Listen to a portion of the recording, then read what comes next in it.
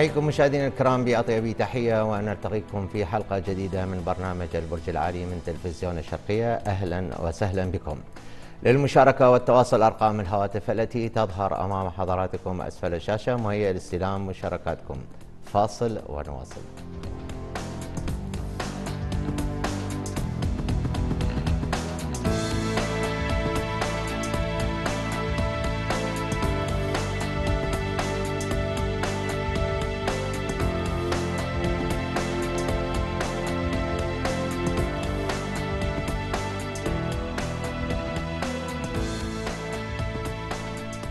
نبدأ مشاهدينا الكرام كالمعتاد مع القمر. يكون القمر في برج الحمل الناري حتى الساعة الثانية وتسعة وثلاثين دقيقة من مساء الثلاثاء. ليدخل بعد ذلك برج الثور الترابي ويظل فيه حتى الساعة الحادية عشرة وستة عشر دقيقة من ليل الخميس. ثم ينتقل إلى برج الجوزاء الهوائي ويمكث فيه حتى الساعة الحادية عشرة إلى دقيقة واحدة من صباح الأحد. ليدخل برج السرطان المائي ويبقى فيه حتى الساعة الحادية عشرة وثمان وثلاثين دقيقة من ليل الثلاثاء. أثناء انتقال القمر من برج إلى آخر وعند عدم تشكيله زاوية معينة مع أحد الكواكب تتشكل فترة غير إيجابية لا تصح مبادرة لأي خطوة جديدة في حياتنا. ويجب علينا خلالها مواصلة حياتنا الاعتيادية كالمعتاد دون إدخال أي تغيير عليها فيما يلي هذه الفترة السلبية. يوم الثلاثاء من الساعة السابعة وثلاثة وخمسين دقيقة صباحا وحتى الساعة الثانية وتسعة وثلاثين دقيقة مساء. يوم الخميس من الساعة الرابعة إلى دقيقة واحدة مساء وحتى الساعة الحادية عشرة وستة عشر دقيقة ليلا. يوم السبت من الساعة الثانية عشرة واثنين وخمسين دقيقة بعد منتصف الليل وحتى الساعة الحادية عشرة إلا دقيقة واحدة من صباح اليوم التالي يوم الأحد. يوم الثلاثاء من الأسبوع المقبل من الساعة السابعة إلى ثلاث دقائق مساء وحتى الساعة الحادية عشرة وثمان وثلاثين دقيقة ليلاً.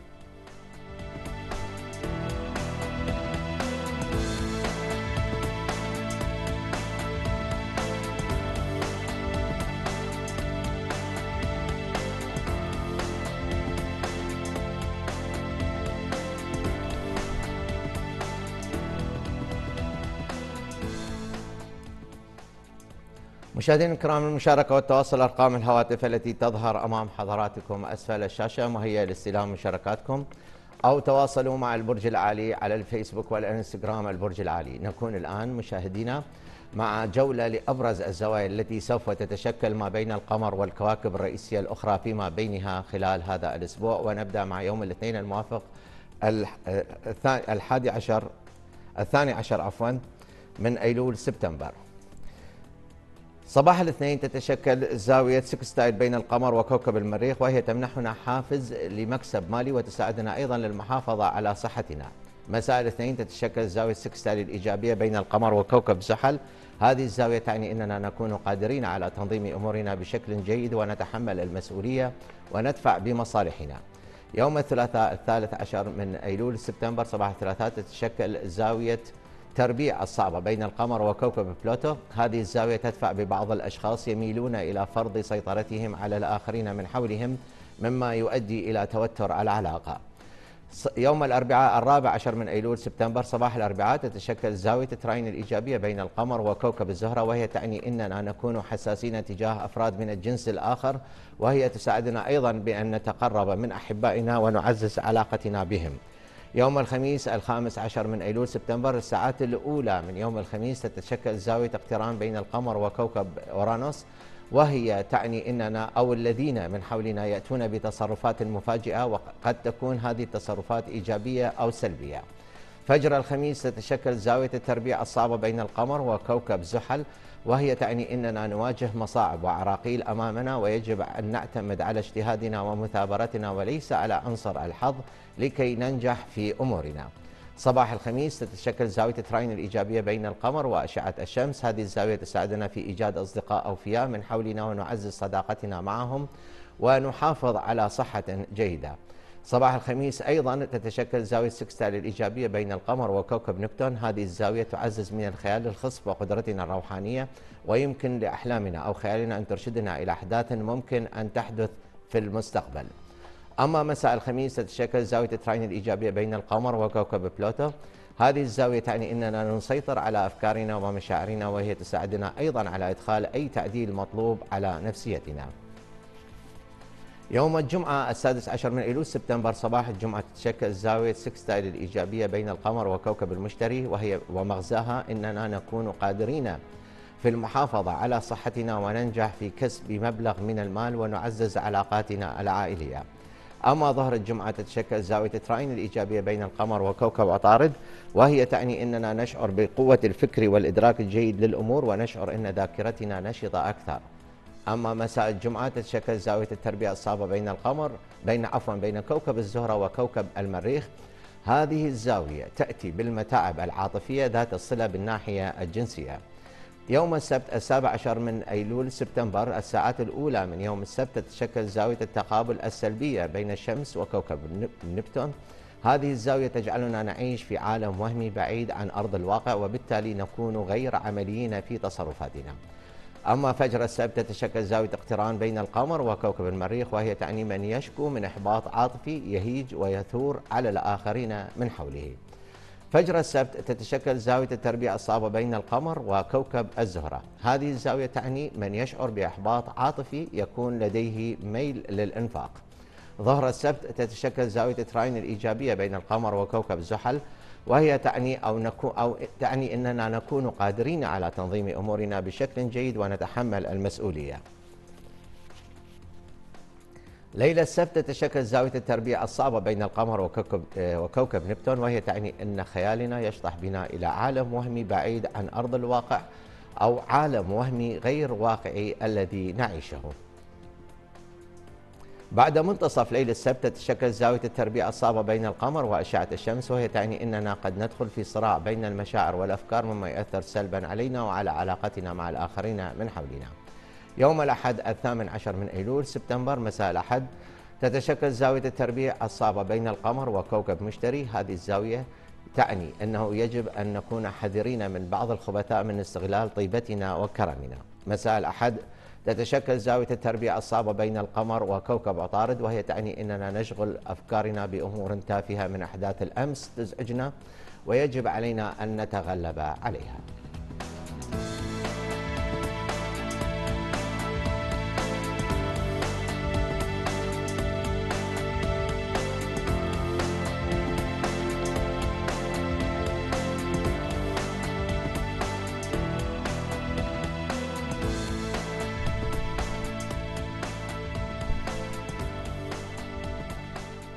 مشاهدينا الكرام المشاركة والتواصل أرقام الهواتف التي تظهر أمام حضراتكم أسفل الشاشة مهيئة لاستلام مشاركاتكم.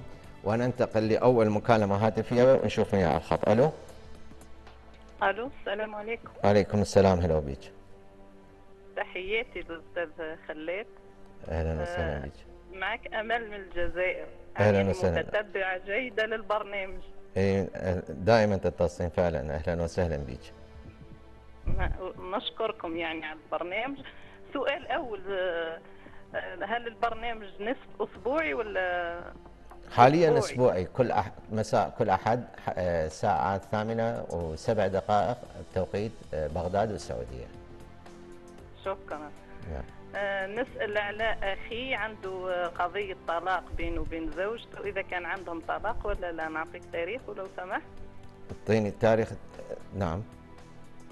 21 2 نعم. 88 هو يريد يطلق ولا لا؟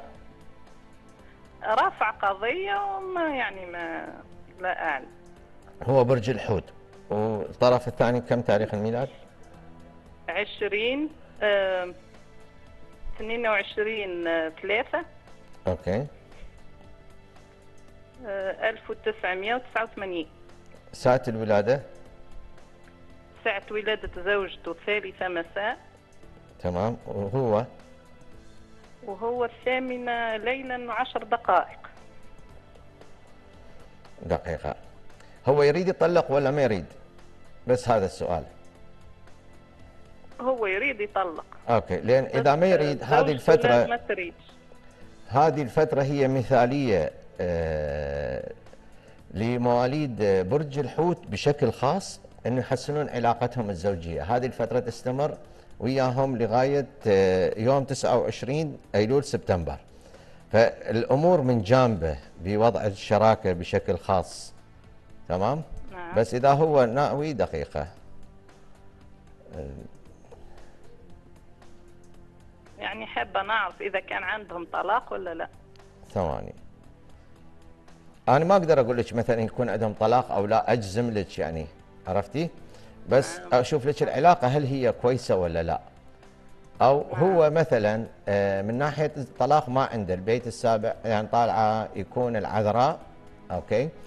البيت السابع يكون في آه، الكوكب ال- آه، كوكب الزهرة تمام؟ فبالتالي هذا وضعه من ناحية الزواج المفروض أوكي. بس إذا مثل ما تفضلتي إنه هو رافض الم- الموضوع فهذا شيء ثاني ما له خص. بس دقيقة 22 3 1989 ثالثة مساء.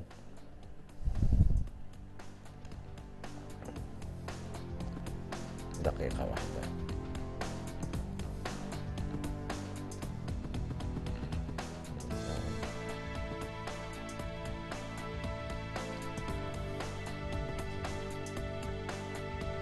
العلاقة وسط. فإذا يريد العلاقة من- النوع الوسط ليست من العلاقات الجيدة جدا أو ممتازة ولا من النوع العلاقات اللي مثلا نقول عليها علاقة سيئة فيعتمد عليهم حاليا. يعني هذا ال- ال- الكرة بملعبه هو هو صاحب القرار. إذا هو رافض الموضوع فهذا مو بحث آخر. تمام؟ يصير. طلاق أو لا هذا. يعتمد عليه. يعني حسب قراره الشخصي يعتمد على عليه شخصيا. هذا قصدي. أنا يعني حابة نعرف إذا كان يعني من خريطته الشخصية عنده طلاق لا ما عنده. مو هو هذا ما عنده هو هذا الشيء. أحسن. اللي حابة نعرف وإذا يريد سمحت؟ يريد إذا أنتم ما تريدوا هذا يتخذ هذا القرار حاليا هذه نعم. الفترة هي فترة مثالية لمواليد برج الحوت على وجه الخصوص بخصوص يعني فيما يخص الشراكة الزوجية. العزاب بتكون. عندهم فرص الارتباط الخطوبة الزواج إلى آخره وبالنسبة لمواليد يعني المتزوجين يحسنون علاقتهم فإذا يريد الكرة في ملعبه لغاية نهاية الشهر هذا إن شاء الله حاولوا إنه شاء مثلا. تهدوه أو تخلوه يعدل عن قراره في سبيل إنه ترجع المياه إلى مجاريها إن شاء الله إن شاء الله ممكن تاريخي لو سمحت سؤال بسيط. لا والله آسف آمال مرة ثانية لأن الوقت هواي طج على لأن في ناس مز... يعني. ينتظرون على الخط شكرا. شكرا أهلا وسهلا. بك. مع هلا. مع السلامة. ناخذ اتصال. هاتف يا خالو. ألو السلام عليكم. عليكم السلام. هلا وبيك يمكن الشاي تفضلي تعال الهواء. أنا مواليد أه، سبعة واحد. okay. 1989 7 1 89 ساعة الولادة؟ أه، الصبح يعني الغبشة. okay. شنو سؤالك؟ أنت من مواليد برج الجدي. أي بس يعني نفسيتي كلش تعبانة وما يضبط وياي كل شيء شلون؟ 7 1 دقيقة 89 اي أنت ارقامك 7 و8 أنت غير محظوظة بشكل عام. يعني حياتك بيها مشاكل؟ بشكل عام مو من النوع الحياة السهلة على سبيل المثال. أي شيء تريدي تحصليه باجتهاد وبصعوبة آه، يعني أي هدف تسعي له آه، توصلي له بس بتعب واجتهاد وما تتخلى المشاكل. يعني أنت من النوع ما تت يعني عفوا ما تخلى حياتك من المتاعب والمشاكل اللي أنت تبغينها والله ما تخمه إيه. فهذا الشيء أي. موجود عندك. نعم. عندي مشاكل يعني زوجية بالعلاقات. بالزواج ما عندك مشاكل. أنت كم مره متزوجة؟ مرة واحدة. مرة واحدة. لا سمح الله إذا تريدين إذا تريدين تستق... يعني ما تخسرين هذه الشراكة أو الزواج اللي أنت بيه حاولي تحافظين على أسلوب دبلوماسي بتعاملك ويا الطرف الثاني في سبيل إنه لا سمح الله ما يصير عندك مشاكل أو انفصال إلى آخره. ما عندك لا انفصال ما عندي انفصال عندي أطفال بس إيه، شوي علاقتي بزوجي. كلش أنا هذا قصدي فحافظي حاولي إنه شوية لأن أنت من النوع اللي حياتك صعبة قد تت- تتمثل هذه المشاكل الصعوبات على صعيد الزواج أو شيء آخر يعني أمور أخرى في الحياة فاهم شيء محور الزواج هسه عندنا لأن كونك متزوجه وعندك أطفال فحاولي إنه تغضين الطرف أو تعطين بعض التنازلات في سبيل إنه أمورك إن شاء الله آه، تتيسر وتمشي طبيعي حالك حال آه، باقي الناس. وعن الصحة الصحة حاليا هذا هذه الفترة آه، من 20 8 بدت لغاية 25 3 2023 كلش ديروا بالكم أنتم مواليد برج الجدي من الناحية الصحية. مثلا أنت تقعدين الصبح تنظفين البيت وتطبخين إلى عندك مشاغلك بالبيت حاولي تاخذين استراحة بين شغلة وأخرى في سبيل إنه ما يأثر على صحتك. لأن شوية إذا هملتوا صحتكم لا سمح الله تدفعون الثمن غالي. فلازم تنتبهون لصحتكم على وجه الخصوص خلال الست أشهر المقبلة في سبيل إنه ما تصير عندكم آه، فد أمور أنتم بغنى عنها. إن شاء الله شكرا يعني. أهلا وسهلا بك يا هلا. ناخذ اتصال هاتفي آخر ألو. ألو نعم ألو البرج العالي نعم تفضل طلاق ممكن أنت على الهواء. ألو؟ تفضلي. أنت على الهواء تفضلي. فصل الخط. مشاهدينا الكرام المشاركة والتواصل الأرقام الهواتف التي تظهر أمام حضراتكم أسفل الشاشة مهيئة لاستلام مشاركاتكم أو يمكنكم التواصل مع البرج العالي على الفيسبوك والإنستغرام لآخر المستجدات فقط البرج العالي. ألو؟ ألو نعم. العالي تفضلي تي على الهواء. أستاذ أستاذ خلام الله يساعدك. أهلا وسهلا. ادي مواليد 2005 بس ادي مواليد 25 6 إيش قد؟ مواليد 2000 25 6 أوكي ابتعدي عن التلفزيون بلا زحمة. سمعيني من التليفون. اي تفضلي. هذا برج السرطان شنو سؤالك؟ هذا شو ما عنده حظ يعني كل ما اخطب له مرة يعني ما تصير. تصير بها قطاعات وتصير بها إشكالات وهاي شو السالفة مالته؟ تمام. ساعة بيت جاي. على الدنيا جاي بالليل بس ما أعرف بيش الساعة. بالليل يعني فوق ال 11 بالليل 12 بالليل ما جاي يعرف يعني. ما نعم. جاي يعرف بيش ما بالليل تمام. لحظة واحدة. رحم الله والديك. قديش لحظة عندنا خلينا نقول ب 12 بالليل يعني اي اي ب 12 بالليل اي تمام. الواحد له دار ما عنده مشكلة بالزواج هذا. أبد. هذا ما إنها فسخت اخطبت تو فسخت وكل ما اخطب له بها عرقه ليش شو السبب؟ مو مشكلة عنده فرصة مثلا يعني على سبيل المثال آه، أي. هسه بس هسه, أنتم ما, عندكم صح؟ حاليا اي اي ما حاليا حاليا عندكم فرصة حلو عنده فرصة حلوة تمام؟ وهو آه، ك يعني شخصيا عنده بشهر ال 12 إذا تريدين هذاك الوقت يكون نوعا ما له فرص إيجابية. اي أستاذ خلال شنو طالعة؟ هو طالع يكون ال- الحوت. ها طالع الحوت. نعم.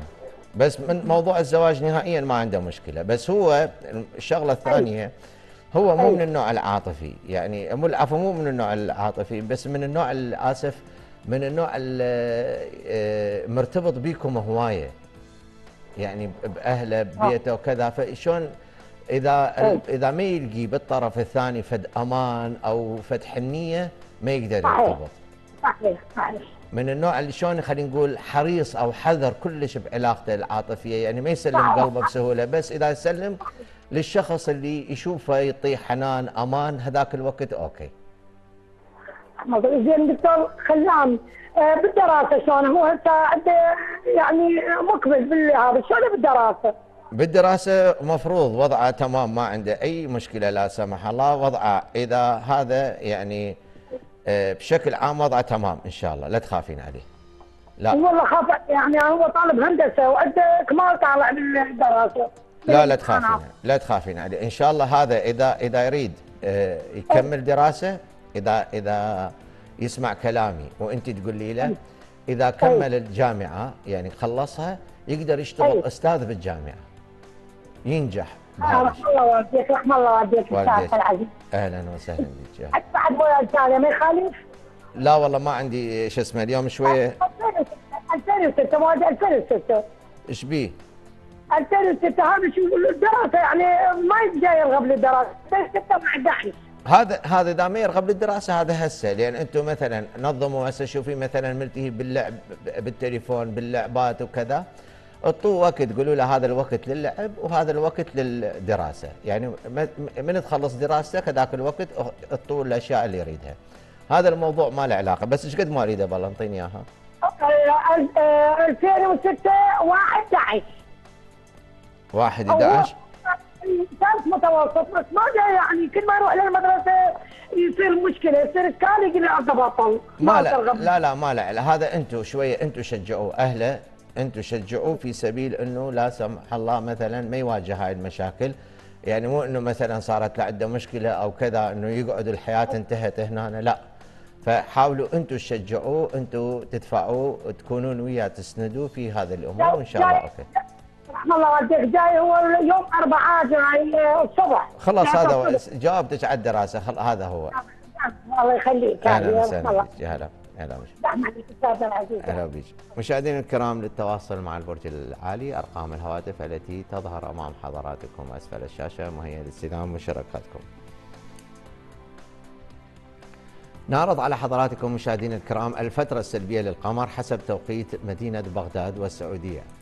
الفترة السلبية للقمر بداية الفترة السلبية بالتاريخ والوقت من اليسار إلى اليمين ونهاية الفترة السلبية ومن بالتاريخ من ال- آه، وبالوقت أيضا ويدخل أي برج ذكري أو أنثوي. هذا حسب توقيت مدينة بغداد والسعودية. المقيمين خارج العراق حسب الدولة اللي بها مع مراعاة فروق التوقيت على حسب توقيت جي ام دي هذه الفترة السلبية التوقيت العالمي بداية الفترة السلبية من اليسار إلى اليمين بالتاريخ وبالوقت ونهاية الفترة السلبية بالتاريخ والوقت ويدخل أي برج ذكري أو أنثوي.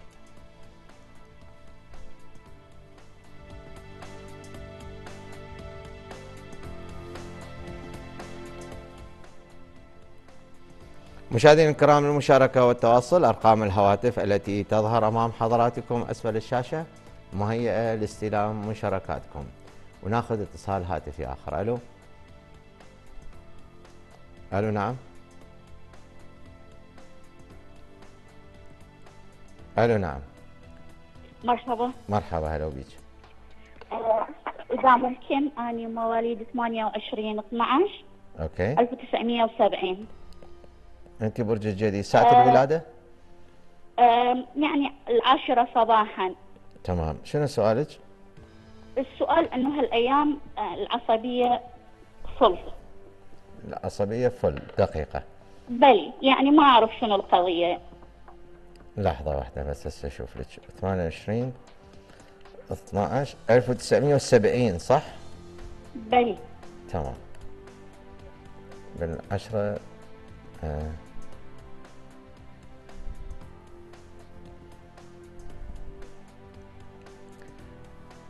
آه، عصبية فل. انت عصبية أصلا مو هالايام انت جاية مو عصبية. أعرف. انت من الأساس مالتك عصبية فهذا شيء عادي. هذا شيء انت. أعرف. بس إيه. أنا أخذت لي فترة سيطرت على الموضوع. اي هسه لا يعني هي هسه شوية لأن هل- آه، كوكب عطارد هالأيام كلش وصلت بيك يعني مرة ثانية؟ نعم. شلون العفو؟ ما سمعت ما فهمت. رجعت يعني على ال- ال- ال- المستوى العالي مالتي مالت العصبية. لا حاولي انت هسه. هذه لحد لحد بداية 2 10 شوية سيطري على أعصابك. أكثر. انت هذا الشيء يعني انت من النوع جدا جدا جدا ذكية. هذا من ناحية إيجابية. من الناحيه السلبيه إنه انت جدا عصبية. فانت حاولي إنه تسيطرين على نفسك في سبيل إنه آه، تتجنبين العصبية من آه، تصير عندك هذه الحالة. تمام؟ أوكي، هذا الشيء ما راح ما, ما 12 أقول لك ما راح ما راح يروح من عندك. هذا الشيء مرافقك من طفولتك إلى بعد عمر طويل إلى آخر لحظة بحياتك. فهذا الشيء لازم انت تعرفين شلون تسيطرين أو تاخذ يعني آه، شوية تاخذين زمام الأمور بإيدك شخصيا وتكبحين جماح العصبية اللي تسيطر عليك بين فترة وفترة في سبيل لا سمح الله ما تصير تأثر عليه سلبيا بعلاقتك على سبيل المثال ويا الناس إلى آخره. تمام؟ شكرا جزيلا. أهلا وسهلا. شكرا. شكرا شكرا. ألو؟ إذا مشاهدينا الكرام للتواصل مع البرج العالي أرقام الهواتف التي تظهر أمام حضراتكم أسفل الشاشة ومهيئة لاستلام مشاركاتكم فاصل ونواصل.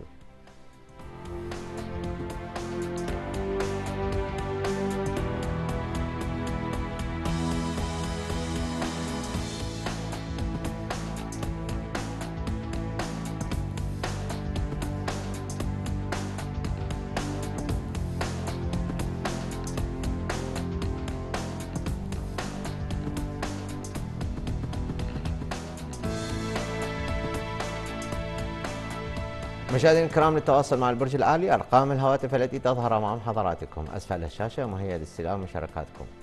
نكون الآن مشاهدينا مع كاميرا الشرقية ومشاهدي ومتابعي برنامج البرج العالي وبعض أسئلة المشاهدين. السلام عليكم. مرحبا أستاذ فلات. وياك عبد الله عبد الكريم. 1990 96 برج الجوزاء. هل يتطابق برجي مع الأبراج النارية كبرج الجدي وهل يتطابق يعني برجي مع برج السرطان شنو اللي ضمن لي؟ برجي بهاي السنة؟ مها نبيل فخري مواليد 1979 6 12 جيت للدنيا الساعة 5 العصر. بدي أشوف برج اليوم شو محضر لي من ناحية العمل.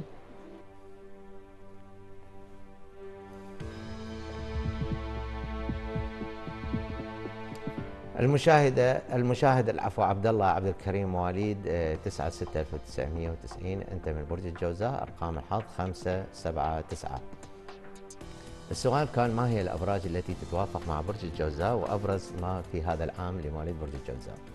الجواب الأبراج النارية هي بالدرجة الأولى الحمل الأسد القوس والهوائية الميزان والدلو.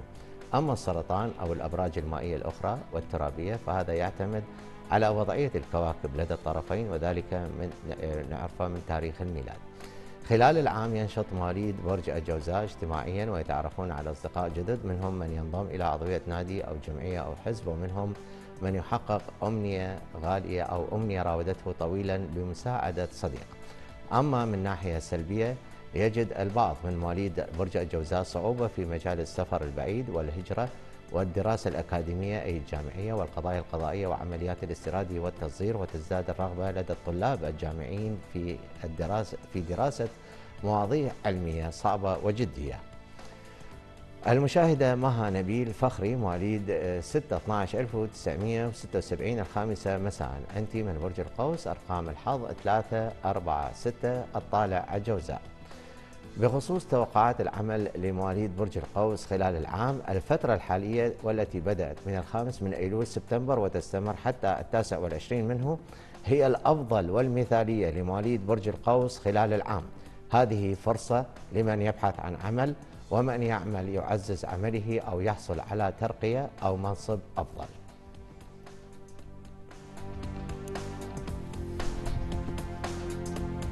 مشاهدينا المشاركة والتواصل أرقام الهواتف التي تظهر أمام حضراتكم أسفل الشاشة مهيئة لاستلام مشاركاتكم.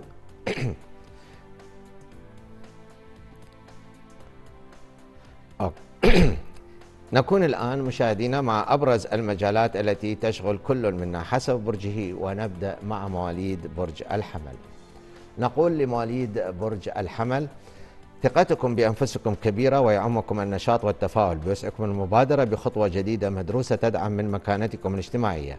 من مساء الثلاثاء وحتى ليل الخميس تنهمكون في إدخال تعديل على ميزانيتكم. كونوا حريصين في خطواتكم المالية. من ليل الخميس وحتى صباح الأحد تكثر لديكم الاتصالات ومنكم من يخرج في سفرات قصيرة متعددة. بوسعكم التفاهم مع أخ أو جار. من صباح الأحد وحتى ليل الثلاثاء تفضلون التركيز على مصالحكم البيتية والعائلية.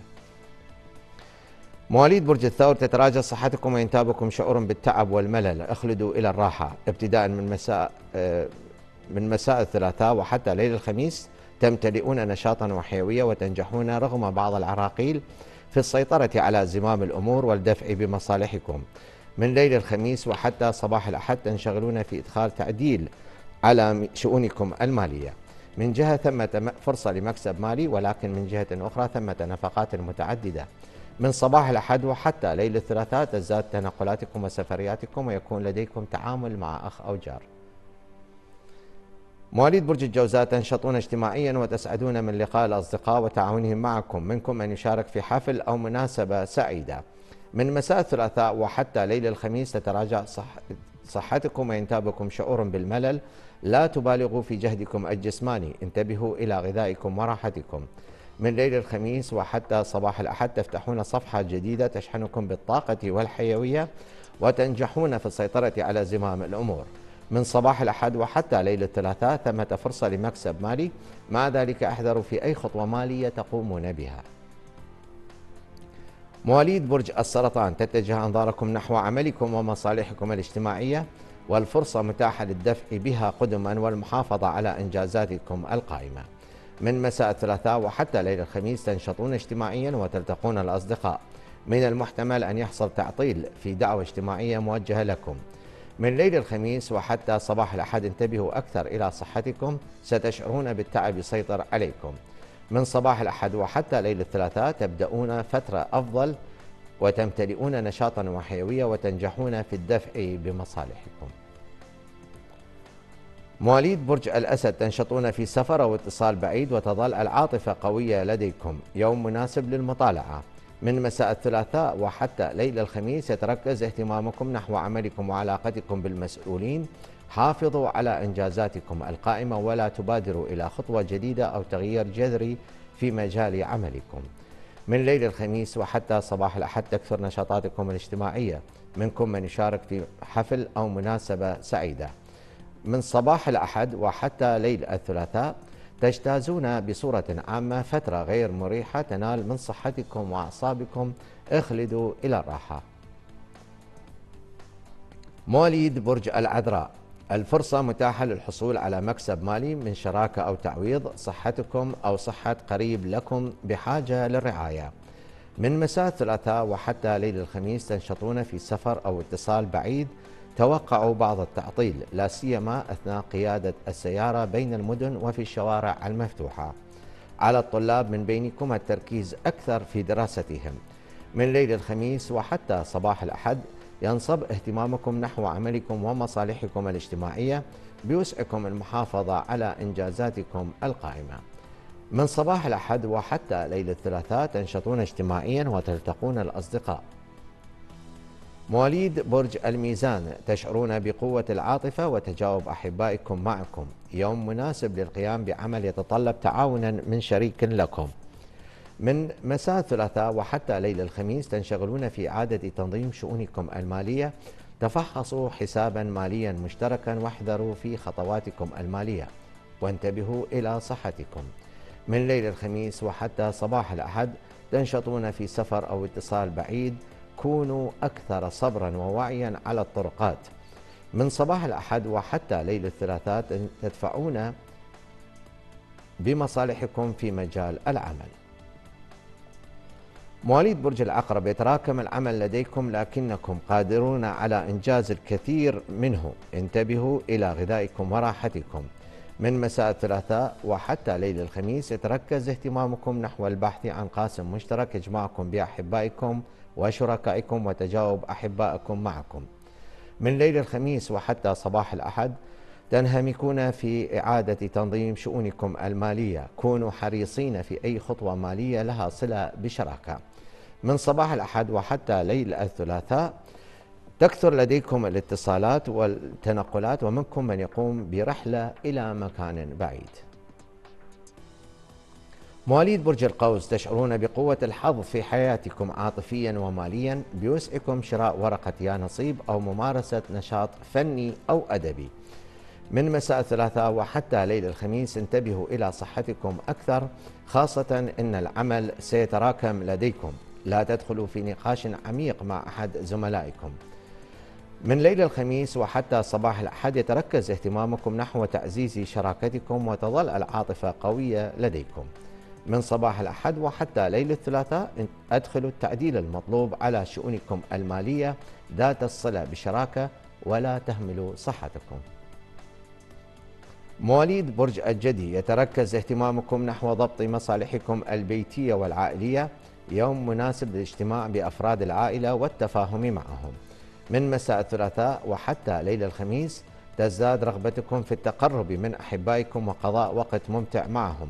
الفترة مناسبة لممارسة نشاط فني أو أدبي. من ليل الخميس وحتى صباح الأحد تتراجع صحتكم لا تبالغوا في مجهودكم الجسماني.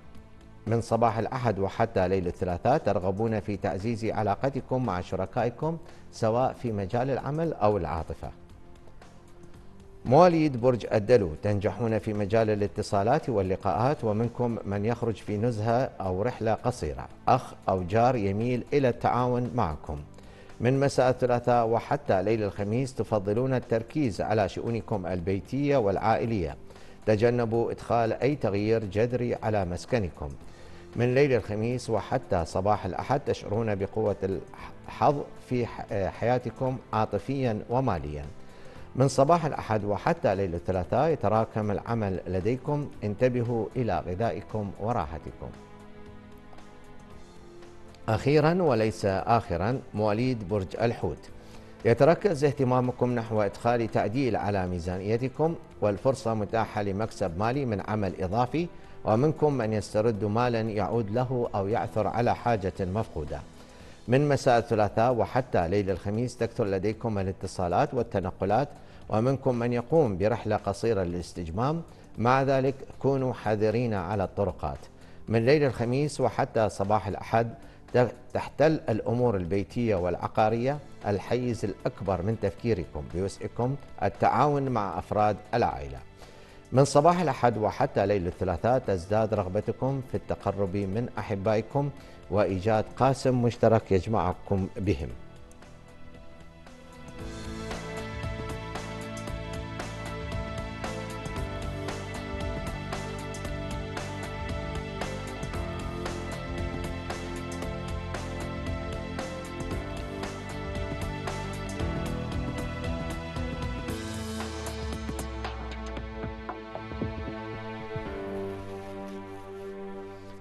مشاهدينا الكرام كانت هذه أبرز المجالات التي تشغل كل منا. حسب برجه والله أعلم.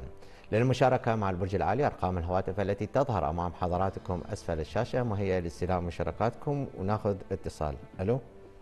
ألو السلام عليكم. عليكم السلام. 85 15 6 16 6 85 ساعة الولادة؟ ساعة الولادة يعني العصر ما أعرف العصر قبل الظهر. زين أو في الساعة شنو سؤالك؟ سؤالي عندي عملية جراحية تجميل بطن يعني يوم الثلاثاء برج الجوزاء آه أنت عندك عملية جراحية يا يوم؟ هاي هاي الثلاثاء الجاي يعني مو باكر عقبه دقيقة اليوم إحنا آه 11 عملية مال إيش؟ مال تجميل بطن شفط دهون آه اللي هو الثلاثاء هذا اللي يجي؟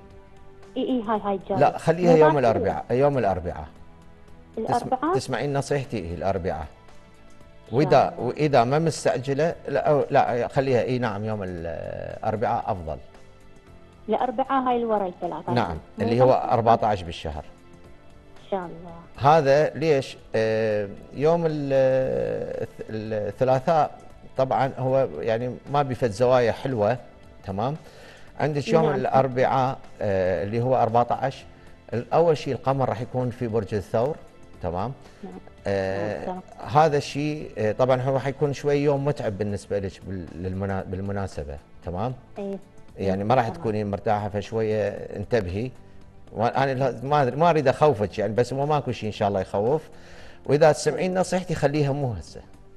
بس ويوم الأربعاء مثلا أكو زاوية حلوة على سبيل المثال عندك القمر تراين ويا الزهرة هذه الزاوية تصير الساعة بال 11 و42 دقيقة الصبح.